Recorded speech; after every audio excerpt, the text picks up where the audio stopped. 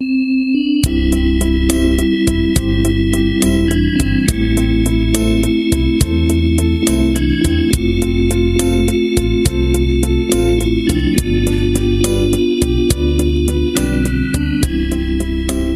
digas Padre nuestro.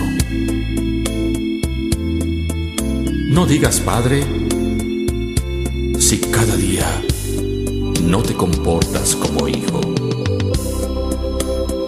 No digas nuestro si vives aislado en tu mundo de egoísmo.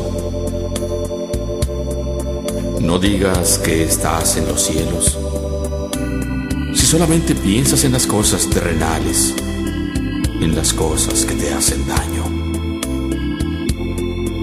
No digas, santificado sea tu nombre, si no lo honras ni lo alabas. Antes al contrario, con tu actitud lo humillas.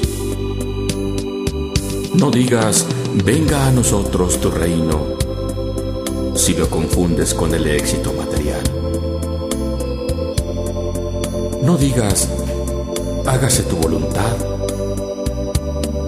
si no la aceptas cuando ésta es dolorosa.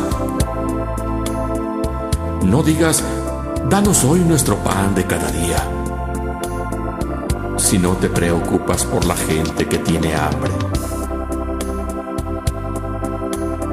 No digas, perdona nuestras ofensas, si guardas rencor a tu hermano si cada día que pasa ofendes a todo aquel que está frente a ti, ya sea de palabra o de pensamiento.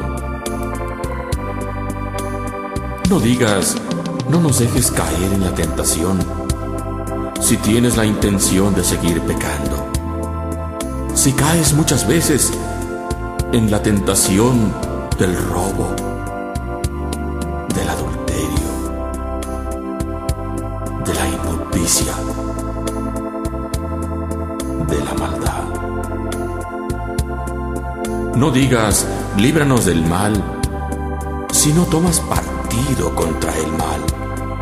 Si cada día que pasa te portas, te portas muy mal.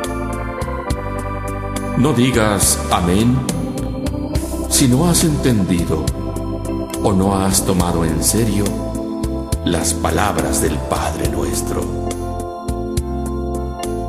Dos palabras.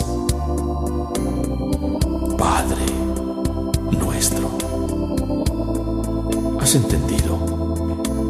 ¿Has comprendido este significado? Padre nuestro. Honra a tu Padre, al Padre terrenal y honra a tu Padre Celestial. Por eso, el Padre nuestro es universal. Cada vez que cierres tus ojos, cada vez que entrelaces tus manos y lo exclames, piensa con humildad. Que hay un Padre. Y este será nuestro cuando tú, cuando tú lo quieras y lo ames en verdad. Father.